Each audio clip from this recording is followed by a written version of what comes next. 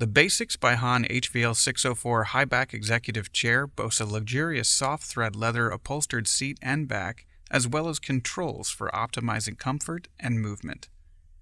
Easily change the height of the chair to adapt to users of various heights by pulling up on the pneumatic height adjustment lever.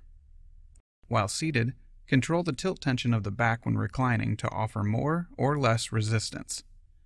Turn counterclockwise to decrease resistance and clockwise to increase resistance. Push in on the pneumatic height adjustment lever to activate the lock, keeping the chair in an upright position.